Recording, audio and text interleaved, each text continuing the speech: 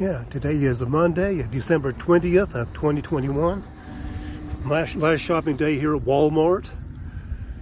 Uh, before Christmas, I'll be bringing in more than just my uh, shopping list.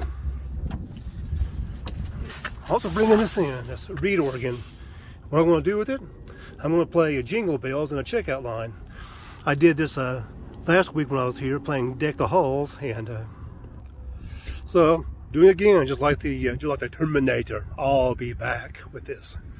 So, to see what I'm going to do, keep on watching. Yeah, shopping's done, so soon I'll be going into action with the keyboard. Keep on watching.